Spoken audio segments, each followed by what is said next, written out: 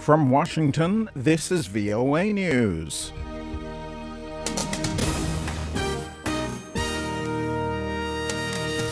The U.S. calls Nigerian forces heavy handed and the Taliban attacks in Kabul kill at least four. I'm Vincent Bruce reporting from Washington. Armed forces from France and Niger Friday shot dead two more Islamist militants who took part in an attack on a military barracks in northern Niger the day before. Two Al Qaeda linked militant groups say they carried out those twin suicide attacks in Niger Thursday as payback for the French led military intervention against them in Mali. VOA's Anne Look reports on the violence in Niger has raised fears of more regional fallout to come. Niger has contributed troops to a West African regional force fighting Islamist militants in northern Mali, as have Senegal, Burkina Faso, Nigeria, and other countries. The French led military intervention began in January and has reclaimed much of the territory after the 10 month occupation by extremists. However, Islamist fighters have reemerged to carry out guerrilla attacks against Malian troops and regional targets. Thursday's attacks were the first of their kind inside Niger.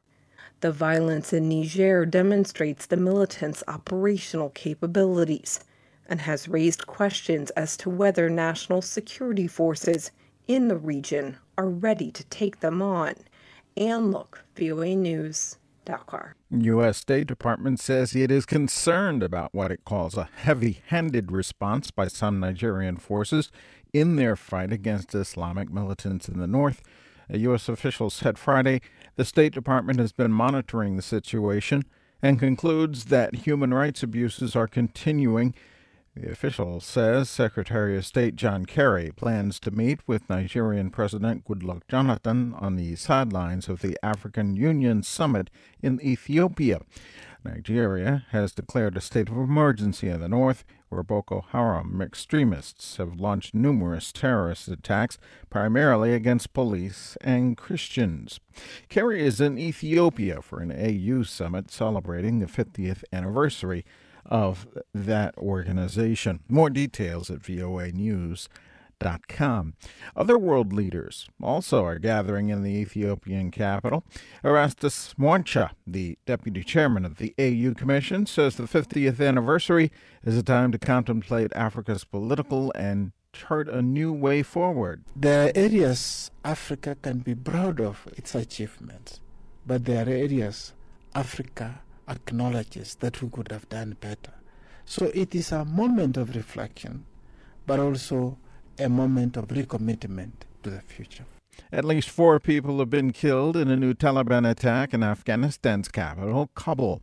Taliban militants, backed by a suicide bomber, attacked a United Nations compound Friday evening and set off several explosions. In the ensuing gun battle with security forces, at least one policeman was killed. Kabul's police chief, General Mohammed Ayub Salangi, told VOA three of the attackers also were killed. Nilab Mubarak is a spokeswoman for the United Nations Assistance Mission for Afghanistan. We uh, uh, strongly condemn this uh, uh attack and uh, uh, we present our condolences to one police officer of the Afghan National Security Forces who lost his life uh, to save people. At least 10 other people were wounded. Russia says the Syrian government has agreed in principle to attend a proposed international conference on ending the civil war and setting up a transitional government. A French court has decided not to formally investigate IMF chief Christine Lagarde over her role in a controversial payoff while she was fi- finance minister but did not name her as a key witness in the continuing probe.